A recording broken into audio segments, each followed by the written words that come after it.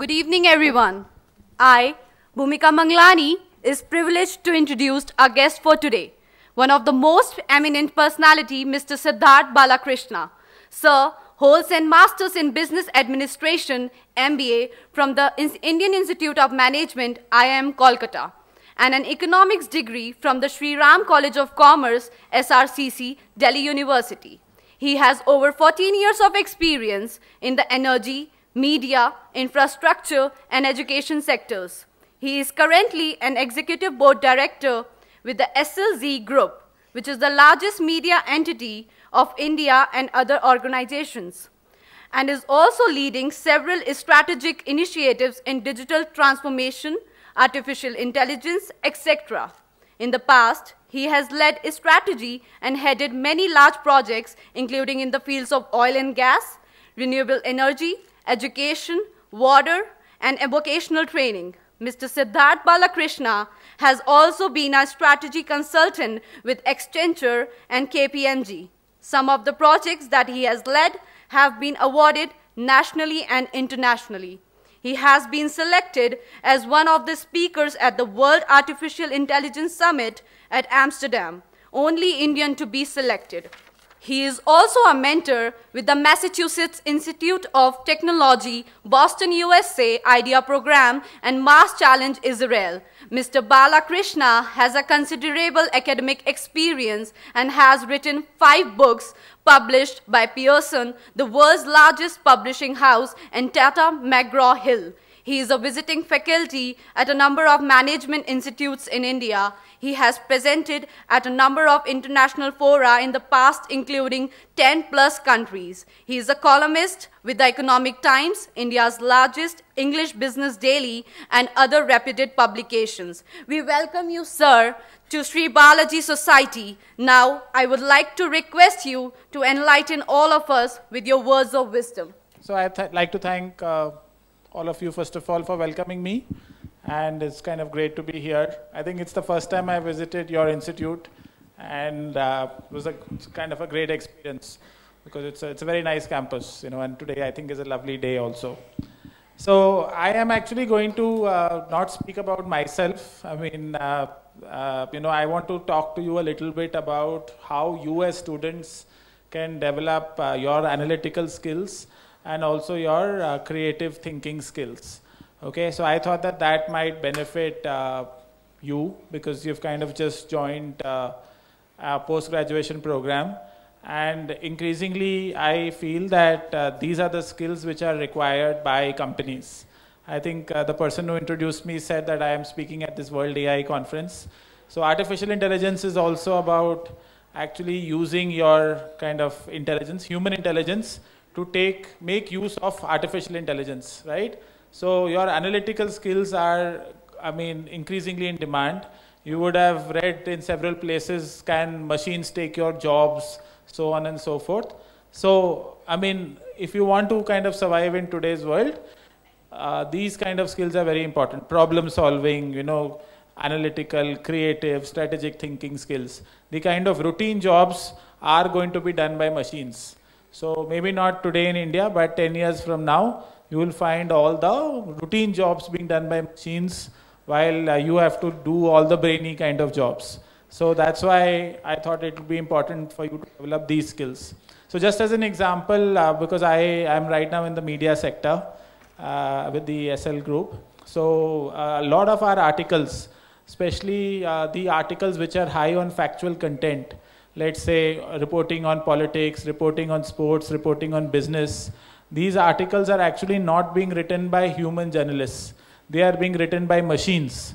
If uh, any of you are familiar, you might be knowing this term, robo-journalism, right? So robos are actually writing articles. What do, what do we need humans for in, uh, in the newsroom? We need humans for opinion pieces, for analysis. You know, if, if I want to kind of report on uh, Narendra Modi's speech, the, the factual content, what, what Narendra Modi ji has said, that can be done by a machine. But what is going to be the impact of his speech? You know, I mean, uh, what does it hold for the country? That analysis and all have to be done by humans. Okay, so the routine jobs are disappearing in every sector. which is why the government is also concerned about, uh, you know, jobs not being created. Okay, so, but uh, I mean, it is, it is the higher order thinking skills which are going to be used. The left hand image is that of a skull, you can see it, right? It says you have to find it here, okay? And uh, below there is a picture of a desert, right? And uh, the line says, before you can find it here, okay? So you have to find it here on the top and uh, below it says, before you can find it here, okay? So I spent a lot of time in the oil and gas industry, right? This was my favorite slide. I, I, was heading strategy for the Vedanta group. Okay, so this was one of my favorite slides, which I used to show all uh, people into the mining, you know, metals, mining, whatever, oil and gas kind of uh, domain. Okay, what do I really want to say with this slide? So uh, what I mean to say that uh, before uh, uh, blindly going into desert and searching for water, we should strategize in our mind how to and to plan it, how to do it, and how not to do it. Okay, okay, yeah. So it basically says before you undertake the action, right? How do you find oil? What is the kind of technique uh, which is used to find uh, oil? Drilling. Yeah, you have to drill. Okay. So how do you know where to drill? Should I start drilling in your institute and hope to find oil? Right? Okay, by some surveys, okay? They are known as uh, not satellite surveys, but seismic surveys. Okay, so I have to use uh, various kind of surveys. There are geomagnetic surveys, there are aeromagnetic surveys, but the most commonly used surveys are seismic surveys. Okay, seismic surveys gives me a lot of data, right? Terabytes and gigabytes and all of data right? So that is the kind of output from seismic surveys. Now what do I do with those seismic surveys? By this data which I have got, what do I do with that? Sorry?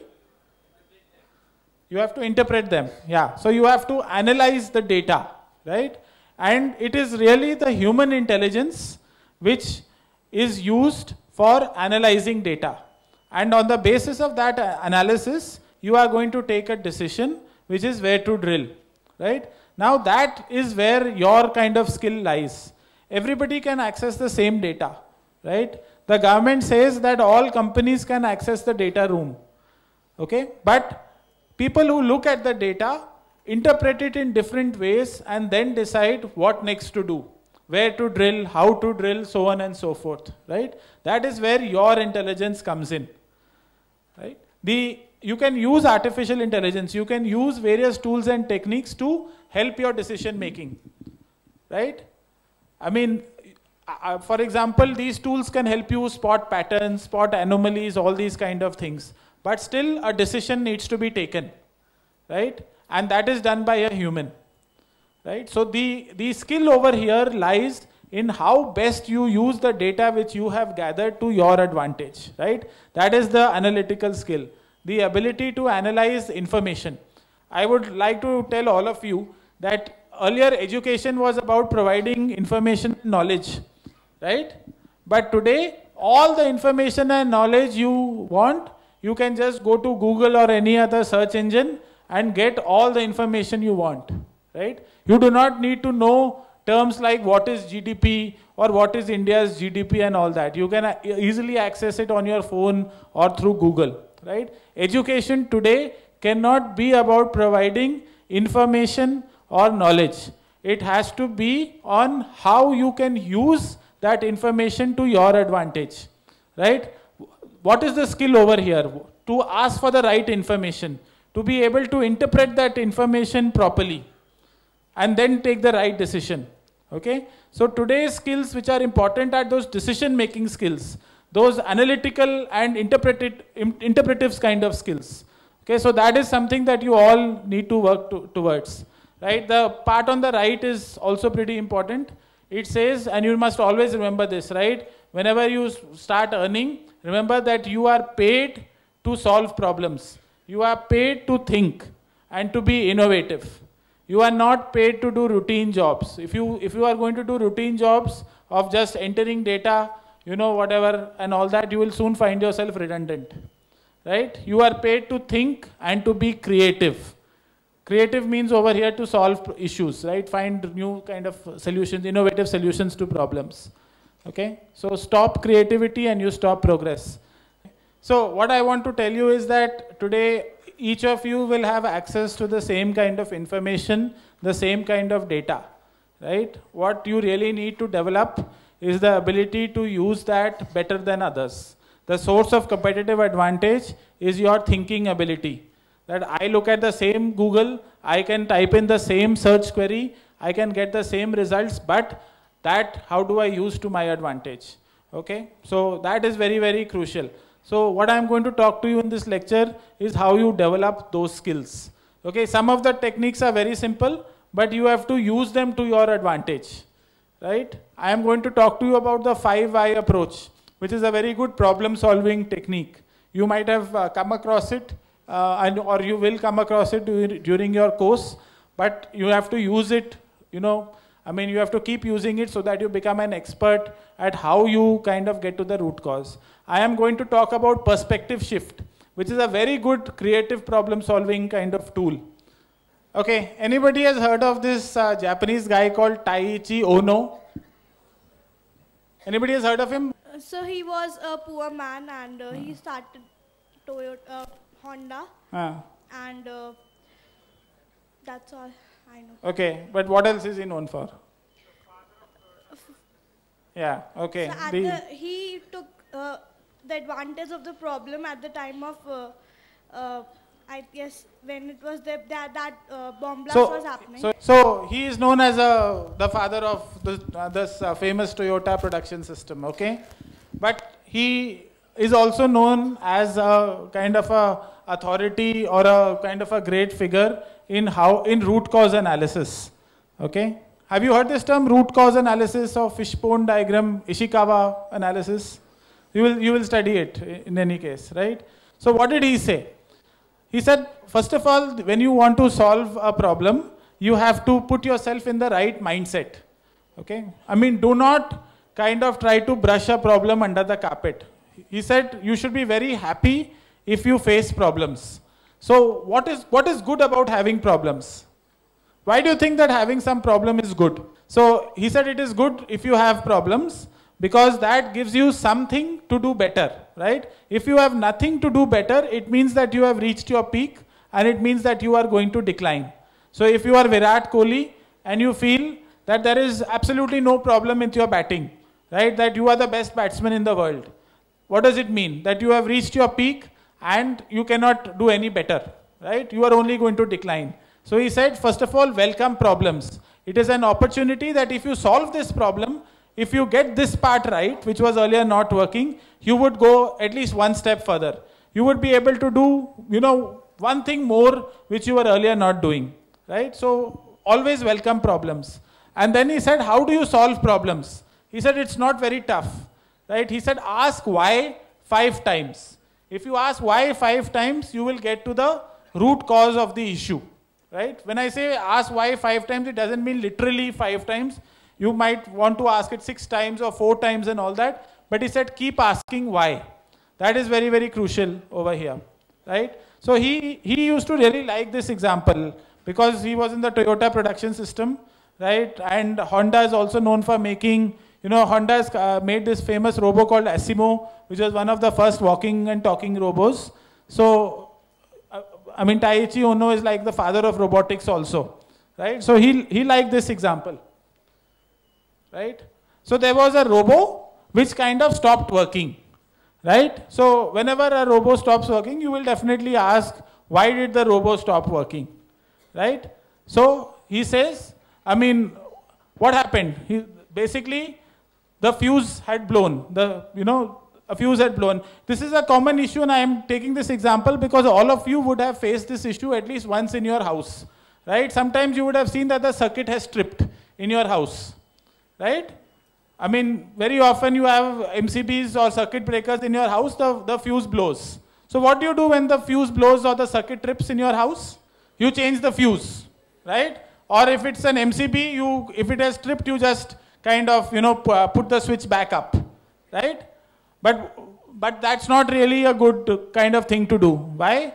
Because there is a certain reason why the circuit has tripped or the fuse has blown, right? If you do not address the reason for that, you are only going to find that it trips again sooner or later, right? So the fact is that you have not really tried to get to the root cause. Ki aise kyun hua? Why did this happen?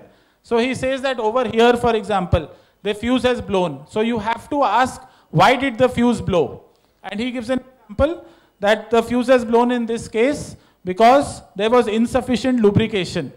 Why was that insufficient lubrication happening? Because the pump which was supposed to uh, circulate the lubricant was not working, right? Why was the pump not working? Because the intake was clogged with metal shavings. Why did that happen? Because there was no filter on the pump and therefore these impurities or these metal shavings kind of got into the system. So what do we see here? Right? That an entire system can be kind of fouled by a very, very small thing which can be easily replaced. Right? All that I need to do over here is put a filter on the pump. It's not a very costly thing to do. It's not a very tough thing to do. But if not done properly, it can actually stop the entire system. Right? But you have to get to the root cause. That is very, very crucial. Right? So, I mean, the World Bank, for example, has a very good, uh, or IMF has a, actually IMF, they have a very good strategy. Right? What is IMF known for? Yeah, it's the International Monetary Fund. When do people go to the IMF?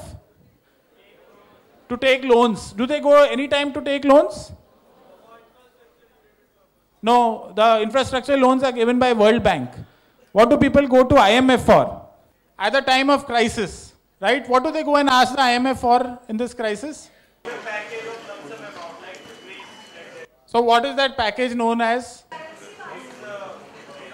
It's a bailout, right? What is the meaning of bailout? Sir, to solve the crisis that is happening. Yeah, okay. Bailout is basically mujhe bachao, right? To save me, right? Bailout meaning to save someone, right? So you own, uh, IMF is like the lender of last resort. Right? If you want to borrow money, you can borrow in many ways. You can issue bonds, you can go to other banks, right? Countries can borrow in many ways, right? You go to the IMF when all those doors are closed, when nobody is willing to lend you money, you go to IMF. Do you know India has gone to IMF once in 1991? Yeah, IMF told, uh, gave us a bailout package in 1991. After that, we have never gone to IMF. But as he was saying, Greece is a country which has recently gone two or three times to the IMF, right? So IMF typically you only go when there is a crisis and it helps you to overcome that crisis. But what does IMF do? Does it just give you money? It, it gives you certain guidelines, right? It asks you to undertake certain reforms, okay? Right? It asks you to undertake certain reforms, right? Why does it ask you to undertake certain reforms? To get the money back, okay, but why, why the reforms to get the money back? To prevent crisis in the future, okay? So what does it assume when it asks you to undertake certain reforms, as you are saying, to return the money or to prevent crisis in future? What, what, the, what is it therefore hinting at? Or why the reforms? What does IMF really say? IMF says that you have come to me for a bailout, right? The underlying reason why you are needing a bailout is that you have done something wrong, right? But never forget that it is your way of managing the economy, right? Your kind of style of actions or your certain decisions or actions which have led to this situation where nobody in the world is willing to give you money and you are, your economy is in such big trouble that you are coming to me, right? So IMF says that if I give you money today, right? I give you a bailout. If you don't change your style of functioning, if you don't do things differently, you are only going to come to me again in six months. Because what you have done in the past, the decisions you have taken have been faulty, right? Do you know how Einstein defined insanity? Doing the same thing over and over again and expecting different. Yeah, very good. Einstein said, he defined insanity as doing the same thing over and over again and expecting different results. Think about this for your entire two years. This is very, very important whenever you work in corporate sector or whenever you work in any other role, right? If you do the same thing over and over again, you are not going to get different results. You are only going to get the same result, right? If you are facing some problem, if you do the same thing, you are again going to face that problem. So uh, remember Einstein said it is insane. You are mad, he said. You are foolish. If you think that you can do the same thing again and again but get a different result. Nahi ho sakta. आप वही चीज़ करोगे तो वही result आएगा। If I want a different result I have to do things differently I have to change the style I function right in which I function I have to change the way I do things if I want a different result that is the basic of problem basics of problem solving Einstein said one more very important thing right he said the your problems I mean you cannot find solutions to problems by the same thinking which has created the problem right? It is your thinking which has created the problem. If you want a solution now you have to change your style of thinking. You know einstein was one of the best management gurus. You know him as a physics professor i mean as a famous nobel prize winner in physics and chemistry but he was also a great management uh, kind of a guru right? I mean these two maxims are actually very very important. You have to change your style of functioning your way of thinking if you want a different result that is exactly what IMF is saying. Right?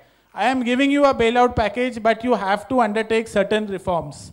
If you do not make those changes, you are only going to come to me after six months and ask for another bailout. Right? Because you are doing the same thing. आपका result भी वही आएगा आज bail out मांग रहे हो छह महीने के बाद फिर से मेरे पास आओगे so you have to change the style of functioning right so when you want to change the style of functioning, you have to first realize what is the root cause of the problem. You know, what, what is the problem and why that problem has come, right? So that root cause analysis is very important. What are the mistakes you have made, right? What is it that you need to change? So that, that is very, very crucial over here. So there is also this, I mean, thing which uh, Ohno gave, which is known as genchi genbutsu so i am not a japanese professor but it basically means going to the source, right? You have to go to the source of the problem, right? So, how many of you have seen detective movies? A lot of you have seen detective movies, right? What is the typical way? I mean, what happens? Uh, you know, what is the thing that the detective does after uh, a murder is committed or after some dead body is found? What does the detective do? The detective has to go to the crime scene yeah? Have you ever heard of a policeman or a detective solving some murder sitting in the police station? ऐसे हो सकता है fiction में तो हो सकता है but reality में कभी नहीं होता right if you want to solve some crime or a murder, you have to go to the crime scene. Now, what happens in many of these murder mysteries? The detective suddenly gets a call at 2 a.m. or 3 a.m. at night when he's sleeping and he immediately has to rush to the crime scene. You may ask yourself, why does he need to go at 3 o'clock in the morning? वो सुबह सात बजे या आठ बजे चले जाए right why does he need to rush to the crime scene right because that is the place that the detective has to get the evidence from if he goes even 5 hours later 6 hours later the crime scene will not be what it was you know, at that point in time. Something might have changed. Maybe there was some smell in that crime scene which tells the detective something. Maybe there was some position of some object in a certain way which leads to some clues. So the detective has to rush to the crime scene. Right? That is very, very important. अब आज के consultant I have also been in consulting right but आज के consultant क्या करते हैं they try to solve problems sitting in the office right you can not do that right If you want to help a company, if you want to solve any problem for anyone, you have to go to the place where the actions are being performed. Right? So that is very, very important. So for as far as Taiichi Ohno was concerned, because uh, he was in the I mean production system, he said if there is any problem on the shop floor, you have to go to the shop floor. Right? Do not try to sit in the office and solve problems. Go to the place where the value is being added, where the actions are being performed. Right? All of you have heard of GST? yeah, what, I mean, are there uh, any, any kind of negative news you have heard of GST? Any positive, any negative? So government says it has simplified a lot of things, right? That is the benefit of GST. Some people say no, it is not simplified, it has complicated a lot of things, right? But one of the things which the government said is that GST will help the, you know, kind of goods and commodities to move seamlessly between borders, right? Earlier, there were a lot of uh, checkpoints at every state border whenever trucks were crossing the border, right? I mean, there was a long queue of trucks, right? But now all that thing will go, right? To some, to some extent that has happened, right? I mean, the queues at the border are much less. But there are still times when the trucks are stopped at the border. They are not supposed to be stopped, stopped at the border anymore. But still something is happening. If you really want to understand kya ho hai, right? You have to travel with a truck driver, right? That is the kind of place where you will get to know ki exactly kya ho hai. Truck ko kyun rok rahe hain, right? So if you want to solve problems, remember this, go to the place where the action is taking place, where the value is being added for any problem. Don't try to sit in an office and solve problems. Okay, you have to go to the source. That is very, very crucial. Okay. One more important uh, question I want to share with you, right? This is for all marketing guys. Okay, this is a, this is a uh, kind of a concept given by David Witt, Wittenberg. He said that when you are when you are selling anything, right, or whenever you are marketing, right, always get this answer right or this kind of uh, understand this question well. Understand who pays whom to do what. Okay, I'm repeating for you. Who pays whom to do what? Right? You have to be very, very clear on this for good strategy formulation. Okay, so let's say you go to a restaurant, right? Whom do you pay? You pay the management of the restaurant. So if the restaurant is owned by, um, you know, Sachin Tendulkar also owns two restaurants in Mumbai, you go to Sachin Tendulkar and give him some money. So whom do you actually pay? You pay the cashier or the waiter, right? Typically you pay the waiter, right? You give your cash or the credit card to the waiter. What do you pay a restaurant for or what do you pay the waiter for? For the service and for? For food, right? So you pay the waiter or the management for the food and the service, right? Now why is this so important? Because as I said, Sachin Tendulkar has started two, three restaurants in Mumbai in his name, right? Maybe the initial customers go to Sachin Tendulkar, Sachin Tendulkar's restaurant because of the name of Sachin Tendulkar, right? But if the food in that restaurant is not good, or the waiter is not kind of, you know, pro providing proper service, you are never going to that restaurant again, right? So Sachin Tendulkar needs to remember that ultimately what people come to a restaurant for is for the service and for the food, right? You always need to remember that right? Another thing related to that is that always whenever you are pushing something in marketing, always promote the benefits of the product, not the features. Now, for example, I have seen lot of these uh, telecom ads or these ads for broadband saying 100 Mbps speed, 50 Mbps speed, 150 Mbps speed and all that, right? This is very poor marketing. Why? You are only talking about features. The customer doesn't care about these features. He wants to know what are the benefits of using this product. He wants to know how this 100 Mbps is going to change his life, how it is going to make something easier for him, right? Remember this in all marketing, that you have to promote the benefits. What does this really mean for the customer? How is it going to help the customer? How is it going to change his life? That is what is very important. You cannot cell a product based on technical features कि इसमें Zumba है उसमें वो है Z P T O shampoo में लिखा है Z P T O युक्त right how do I care whether my shampoo as Z P T O और some other P P T O right i want to know how this zpto is going to help me right but this is a mistake that all marketers make right? So remember this always push push the benefits not not the features of the product. So if you say the toothpaste has salt will anyone buy it? You have to say how is the salt going to help? Right? That's what i'm saying. So you have to push the benefits. There is no point in saying the toothpaste has zpto or it has salt or it has sorbitol and all that or fluoride. You have to say how it is going to help you. So it will say for example fights tooth decay or keeps your breath fresh something like that so that way you are promoting the benefits of using it right if you just say has sorbitol Who will buy the toothpaste because it has sorbitol? Nobody knows what is sorbitol or how it is going to help. You have to say how this product, this particular ingredient is going to help, right? So Baba Ramdev is selling all this Ayurvedic products, right? If he just says this has, you know, some uh, ingredient, Ayurvedic ingredient, I don't think that is enough. He has to tell people how using Ayurvedic products is beneficial to their health. That is what he is trying to promote through all his videos and all that uh, healthy lifestyle, do yoga and all that, right? Because that makes people healthy. He says that we must not use these chemicals, we must use Ayurvedic products. So he is trying to promote the benefits, right? So that is what is successful. If I just say this has ashw ashwagandha, this has tulsi, this has this, that, it's not going to help. How is it going to help? You have to tell me, it, you know, it, it might say, it, uh, he might say that this product helps you live longer or keeps your skin uh, younger, something like that. So you have to promote the benefits, not the features. Okay, but, uh, but marketers make this mistake.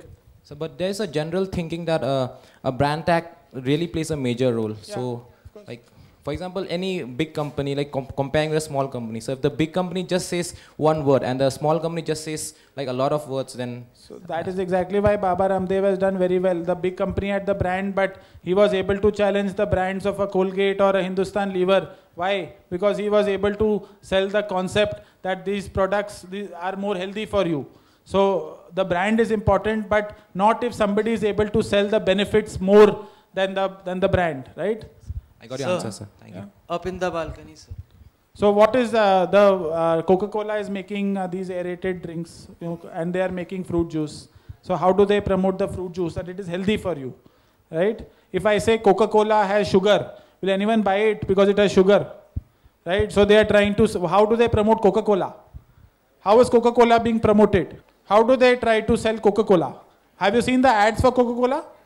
So what what are they trying to uh, show? Emotional connection. Yeah, so they are trying to say that it leads to some bonding, you know, it uh, leads to moments of happiness, moments of joy and all that. Because they cannot sell the, the fact that it is sugar and water, right? If I say that this is sugar and water and priced at 15 rupees, nobody will buy Coca-Cola. So they have to say that it promotes togetherness, community feeling, you know, happiness and joy and all that. So they are promoting again the benefits that by drinking Coca-Cola you will feel happy, or you will feel, you know, refreshed and all that, right?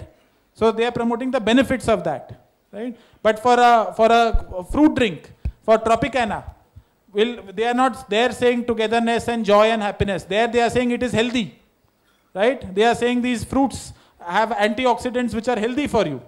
So again, they are putting the benefits. Uh, so for products demanding technical explanation, say for example TVs, electronics, yeah. mobile phones, for those products somewhere it is necessary for a marketer to uh, come across with the features because those features act as benefits. Yeah. So there, I, what I personally which, feel which, is... Which, pro, which feature acts as benefit? Uh, say for example, if we talk about a mobile phone. Yeah. So the features, uh, uh, for example, high speed internet or no breakage or uh, no breakage is not a feature, it's a benefit. It's a, okay. So features, say for example, uh, high graphics or uh, good motion, motion graphics, something like that, which can influence the customer. Better graphics are again a feature. Uh, how are they are a benefit? No, where are they a feature? I mean, if I some TVs are kind of uh, saying, for example, uh, you know the contrast ratio. Right. So that is not successful enough until I promote the benefits of why a better contrast ratio is good for you. Otherwise, I might say my contrast ratio is better than other TVs. But people don't understand how that better contrast ratio is going to benefit them. How is it going to help them? Then there is no point in saying better contrast ratio. Right? So I have to then tell people how this contract, uh, this contrast ratio is going to make some difference to them. Right? Otherwise, there is no point. Right? If people don't understand the benefit of this, then it becomes a, you know, an unnecessary feature right? What does the, the current government keep doing? They keep on talking about the benefits which they have uh, supposedly provided to the electorate. I have built one crore houses. Yesterday Modi ji was saying one crore houses, all their homes electrified and all that. He is trying to promote the benefits which he has, uh, you know, helped, how he has helped the people. So, but he is making a mistake if you just say 5,000 kilometers road constructed, that is not going to help right? You have to say how this better connectivity is going to help people, right? If he doesn't say how the roads are going to help people, then there's no point in saying 5000 kilometer road बनाए हैं लोगों को कोई फर्क ही नहीं पड़ रहा उससे I am still stuck in the traffic jam मुझे क्या परवाह होती है कि मोदी ने 5000 किलोमीटर रोड बनाए कि 10000 kilometre creative problem solving right this is very important okay so you guys have just started so i am not giving some advanced class so simple kind of some guidelines okay so one very important guideline to solve problems right whenever you are stuck right remember what i told you that you have to do things differently so this is a very powerful tool i mean uh, right now because you are many of you are freshers and may not have worked you may not fully grasp this but it is very important to change your perspective. And changing perspective, especially for people who have worked very long in industry, is, is quite different, because, difficult. Because everyone has a particular way of doing things, a particular style and all that. Like for example, even Virat Kohli, he has a particular way of playing a pull shot, right? If you ask him to play a pull shot in a different way, he will not like it, right? He'll say, "Tu kya sikhayega mujhe?" Right? So it is not easy to get people to think differently. But it is very, very important when you are stuck. So one way of getting people to, to kind of solve problems is asking them to change their perspective. So how do you do that? So this is one very powerful style, right? Think of different people, right? Rather than put, I mean, think as to how you would solve a problem, think of how somebody else would solve a problem, right? So ask yourself, for example, any problem, right, which you are facing. How would Mahatma Gandhi solve this problem? Right? Then ask yourself, how would an eight-year-old boy solve this problem? Then ask yourself, how would a Bill Gates or a Donald Trump solve this problem? Ask yourself, how would your grandmother solve this problem? Ask yourself, how would Dawood Ibrahim solve this problem? Right? So this, for example, gives you a different kind of way of thinking right? So for example, let's say there is, I mean, you are well aware India and Pakistan keep fighting, right? So let us say that there are two, two people who are always fighting, right? If I go to my grandmother, how would my grandmother tell me to solve this problem? How would an, you know, I mean an old person, you know, let's say 60, 70, 80 years old, how would they solve a problem of two people fighting? She'll shout at both of them. Do you think grandmothers normally shout? What do grandmothers normally say when two kids are fighting? She'll say, don't fight. And what will she tell people to do to try to solve it? She'll shout at both people. And let's say two adults are uh, fighting. Okay. Okay. How? Of course not. I don't think so. She'll not try to find the root cause, right? I mean, she'll, but she'll, you are saying that she'll uh, try to tell, she'll shout at both people. Okay. Okay. Okay. How would, uh, if suppose there are two kids who are fighting, how would, uh, let's say, you know, if you are uh, a kid and another kid's, uh, kid slaps you, how do you, how does the kid react? He slaps back. What is the other thing he normally does? Suppose he doesn't slap back. Any other way a kid reacts?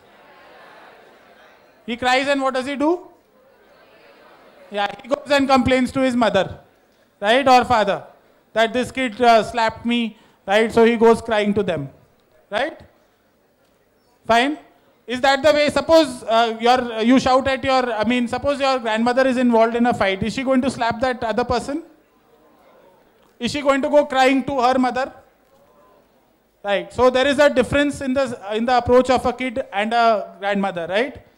Okay. So what do you see that old people typically when faced with a, with a problem, they try to discuss it. Right. So for example, India and Pakistan are quarreling.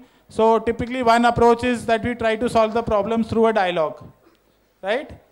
I mean, and that has typically been our approach of politicians, right? They, they'll try to say bachit karenge and all that, right? Most of our politicians are quite old. So one, one common approach is dialogue se solve karenge, right? But if it was a kid he will either hit back और he will go crying तो वो भी एक approach है जब you you no know, कभी मोदी से surgical strike and all I can hit them back right? I can hit the opposition back. Or I can go trying to USA and say these Pakistani guys are troubling me too much.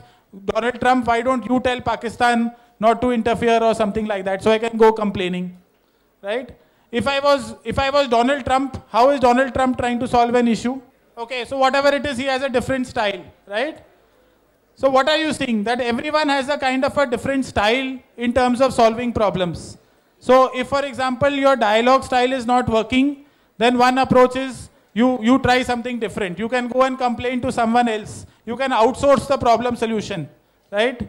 When companies go to consultants, they are outsourcing the problem. Just like when a child goes crying to his mother, saying that another child has hit him, one approach is that you ask somebody else to solve the problem.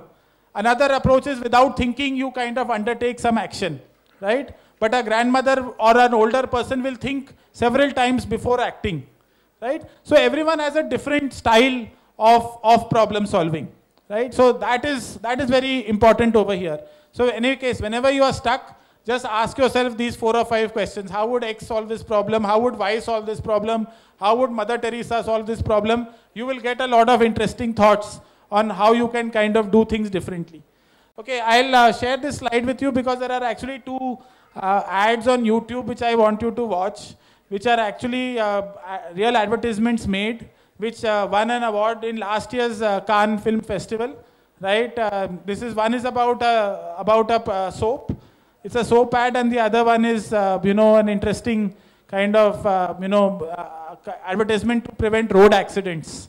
Okay, so I'll share this slide uh, with your, with your uh, kind of coordinator and uh, I would like you to watch these ads because these are like practical examples of, of what I'm kind of saying. Yeah. Okay, so I'll just take another two, three minutes and then we can kind of close. Okay. So what do you, what do you notice? Uh, can you, anyone interpret this picture for me? This is actually the last slide, but I wanted to spend five minutes on this. This is a very interesting slide. Okay, one disclaimer. This has nothing to do with religion. I mean, there is nothing to do with, uh, you know, because nowadays cows are in the news for all wrong reasons. So there's nothing to do with cow or beef or any such thing. No religious kind of explanation. But what, what do you understand from this slide? Think, think a little deeply about this. Okay, one hint for you that uh, this uh, person has done something which no, no kind of consultant has ever succeeded in doing. No kind of educated IIT, IIM, whatever guy has managed to do. This is a fairly uneducated person, right? But he has done something which is very smart, which uh, no, no kind of whatever really educated person can do. So there is a lesson in that. What has he actually done? So it's a kind of business. Yeah. Okay, good, okay. This cow is his livelihood. Yeah. Why? How, and how is his livelihood? So the cow is his livelihood because I think because uh, you know uh, in market uh, people roam around with cows and people like put money in front of the cows just for the religious purposes or something like that. Uh, so maybe it is his livelihood. That's why. Is there any other way the cow can be his livelihood? So uh, some milk but but but uh, i can see that uh, uh, he has put some cloth in on the cow so that yeah. because uh, no he wants he's with the cow in the temple because he wants money. That's that's obvious right? So you are right on that front. But how is a cow a source of livelihood? He might want to show that the cow has some magical powers and fool people regarding that. Maybe. But what is the end result? He wants money now he wants people yeah, to put money there. Yes. Okay? Okay. So what has he done? Why do people keep a cow? Um, uh, maybe in many temples we see that there is a statue of cow and he is kind of showing this cow as a you know um, portrait of portrayal of God itself like come no, and so fine worship all, the all cow. of that but he wants money now huh. okay yeah trying to sell milk no. sir uh, sir, he has somehow managed uh, to convince the people that the cow is a god, and we being Indian, uh, we always donate. Uh, okay, so you want money. That's okay. So he wants money, right? So why do people uh, keep a cow for milk? Okay. So when you keep a cow for milk, right? That is a revenue source, right? That's a revenue for you. But is there any cost associated with keeping a cow? What is that? You have to feed the cow. Yeah? So what has this person done? Right? So this person has done what no consultant has ever done. He has converted a cost center into revenue. Right? People keep a cow for the milk they get from the cow. They have to they have to pay money to uh, feed the cow. I mean there is a cost associated with keeping a cow, right? Otherwise everyone everyone uh, needs milk, so everyone would keep a cow. But it is fairly costly to keep a cow, right? You have to feed the cow every day. So this person has found a great solution. He has taken the cow to the temple and he is getting people to pay him money to feed his cow. Just think of what an amazing thing he has done. People are going to pay him, give him money so that he can feed his cow. Right? And he's probably going to get more money than the cost of feeding the cow. Right? So he has actually converted a cost, which was of feeding the cow, into an additional revenue stream. Right? So why have I put this slide? Right? It is because it is about a person who has kind of found a unique or a new or a you know different kind of way of solving a problem of cost. Right? And the key message over here is that you know not everyone can come up with a great solution or a great innovative idea. But one thing I remember, like all of you to remember, right? That a great solution or a great idea can come from anywhere.